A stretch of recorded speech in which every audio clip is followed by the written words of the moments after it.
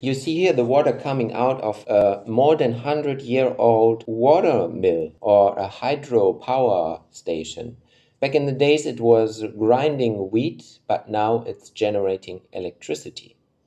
And today we are going to talk about green hydrogen from water or hydropower. Here you see the electrolyzer and this poor guy, he only gets 7 cents per kilowatt hour from the government for his electricity and he could earn much more if he produces hydrogen. He has lots of renewable energies. We follow the creek and you see also all the solar. The water goes here and divides into two water turbines, one there and one in the main house. And then the creek goes underground into the last building so here you can see the photovoltaics and the sawmill. Because these water wheels used to be used on saws or mechanical devices, they all work with these belts and pulleys. And then the three phase AC after the generator go into the grid. With 50 hertz and obviously 15 amp. This is the German water wheel manufacturer. He has different styles, but at the end uh, there is um, water funneled over a turbine, which then uh, it's going to a belt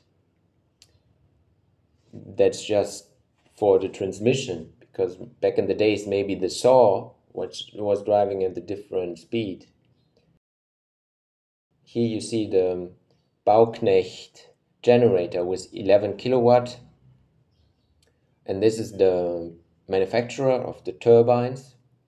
This is the oldest turbine. It used to grind wheat and now it makes electricity. And most challenging thing about hydropower is the water flow.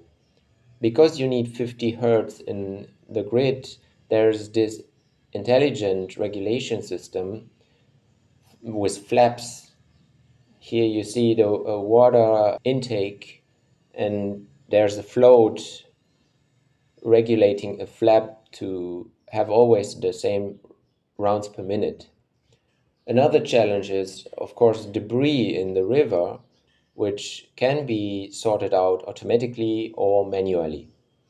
Here I test the electrolyzer with a bench power supply just to make sure all the systems run.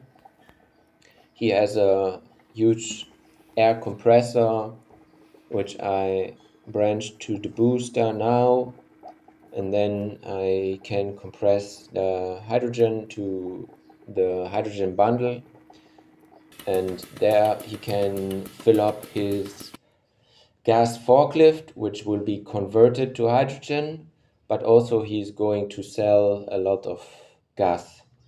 And the best thing about this project is the water works best in winter when there's a lot of rain and snow melting and the PV works in the summer so that he doesn't need any batteries and the Volks electrolyzer will run almost all year around.